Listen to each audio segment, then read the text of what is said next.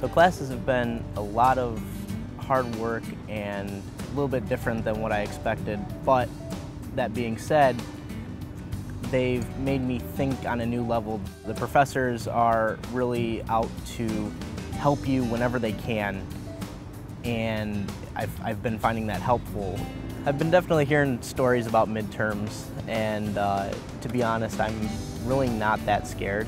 I can be prepared as much as I can for classes like math, but I've uh, come to realize that if I have any questions, I can definitely ask teachers and professors here on campus.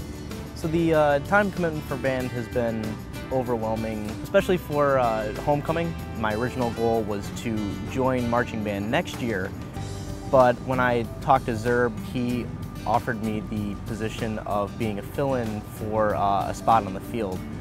Ultimately what came about was I march trumpet for halftime and march pregame and in parades uh, clarinet. A lot of hard work, but the end result is always fun. The biggest thing that I've been working on is not falling into routine. Instead, I've been trying to get out and do some of the campus events, some of the hall, uh, hall events that my RA will put on. So my RA is a really great guy. He's put together events like a uh, 90s TV show night where we just watched all of the classic 90s cartoons.